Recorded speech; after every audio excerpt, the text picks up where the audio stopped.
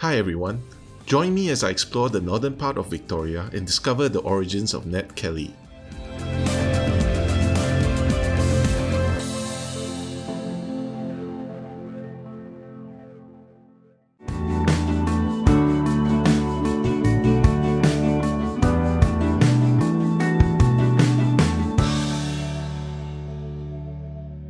Hi everyone, and welcome to Dan's Destinations. My friend Yun and I had planned to travel up north to catch the King Valley Balloon Festival this year, but it was cancelled at the last minute. We couldn't cancel our accommodation, so we decided to explore the other areas.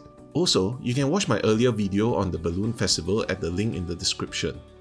On this trip, we travel up north to Wangaratta, stopping by Seymour to visit the Vietnam War commemorative walk.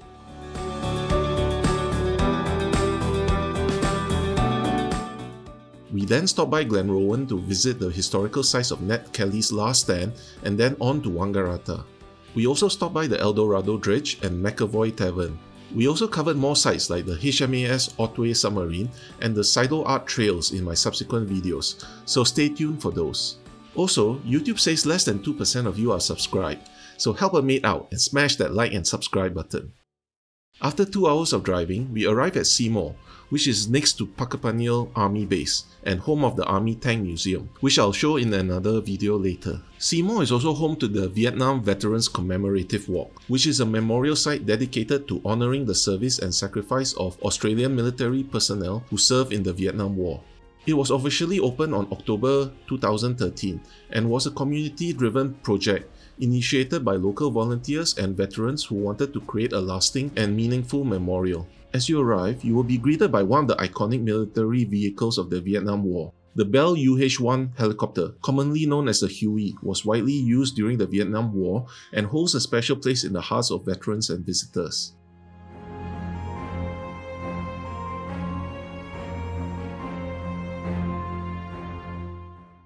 Past the Huey, you arrive at the central walkway, which is lined with plaques, sculptures, and displays that tell the story of the Vietnam War and the experiences of Australian soldiers.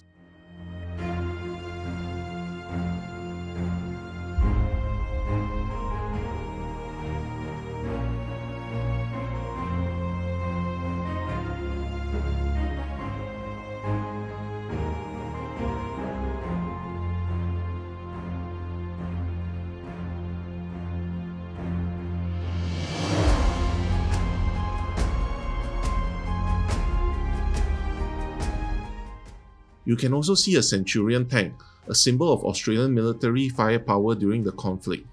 The Centurion tank is a British-made main battle tank, which was developed by the UK after World War II and was introduced into the Australian Army in the early 1950s. It was deployed to South Vietnam during the Vietnam War from 1962 to 1972.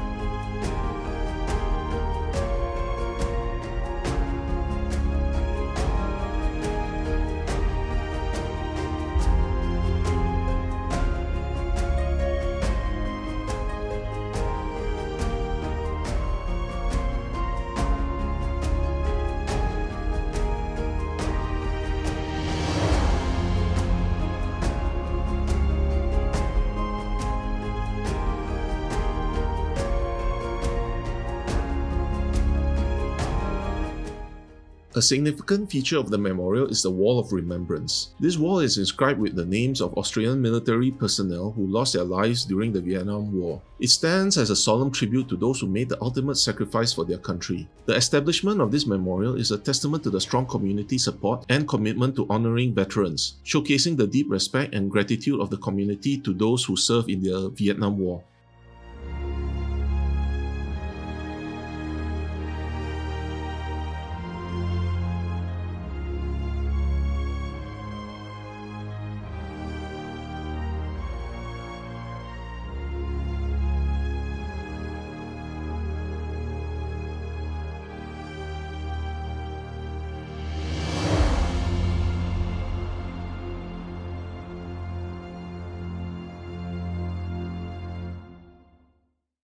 We next drove up to Glenrowan, a small town that holds an important place in the country's history. Glenrowan is known as the site of the last stand of Ned Kelly, a notorious Australian outlaw who was also a folk hero to many. Kelly was a poor bushranger and often in trouble with the law. In 1878, an incident in his home state caused him to go on the run for two years, with his mother being sentenced harshly for abetting him. Kelly and his gang went on raids across the region, demanding justice for his family and the rural poor.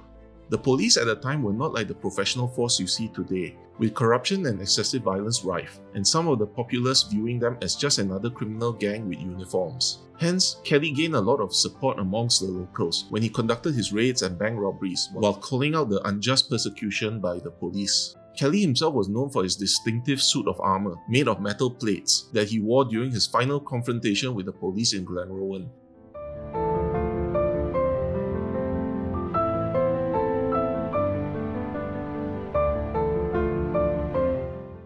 Visitors to Glenrowan can learn more about Kelly and his gang at the Ned Kelly Museum.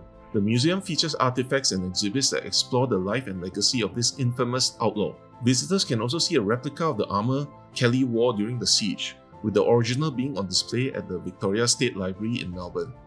At the back of the museum, there's a replica of the Kelly homestead. You can see how Ned lived with his mother and family. Inside, you will find a very detailed recreation of the homestead and the kind of life that they live.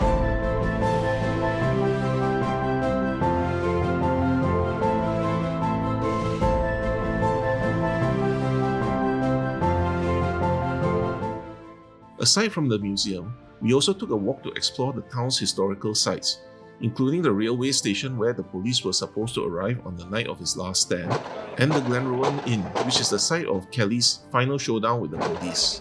Kelly and his gang sought to ambush a police task force sent to Glenrowan by sabotaging the railway lines. However, the police discovered the sabotage and this led to the siege and shootout at the inn. The inn was burned down during the siege, but you can see information markers showing where Kelly and the police were situated. Kelly sought to flank the police in his armor, but was shot in the leg and captured. He was subsequently tried and hanged in Melbourne. Despite his arrest, thousands turned out at street rallies across Melbourne a week before his execution, demanding clemency. As you explore Glenrowan, take a moment to reflect on the town's rich history and the role that Ned Kelly played in shaping Australia's national identity.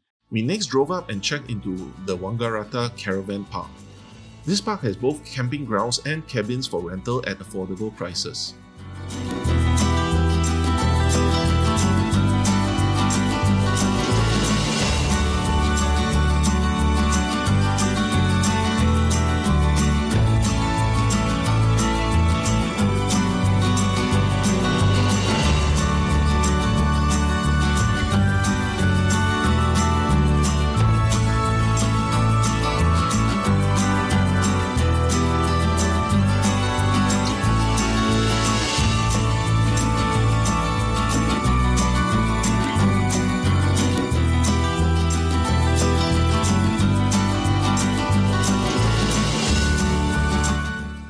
The kitchen has a stove top, fridge, kettle and air conditioning.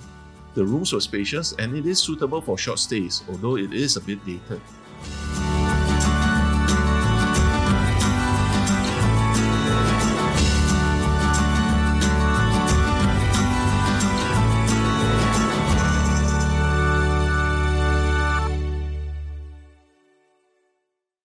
We took a short drive to the Eldorado Gold Dredge which I shot in a previous video. We then dropped by McEvoy Tavern a short distance away, which has the distinction of being Victoria's smallest pub.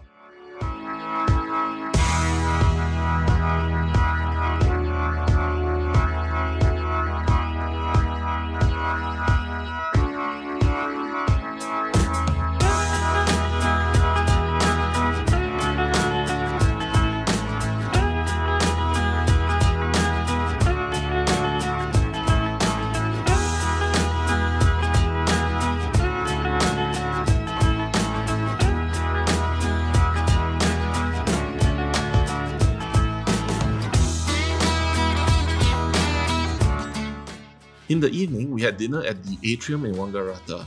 The food was very good and it was a good way to end the day.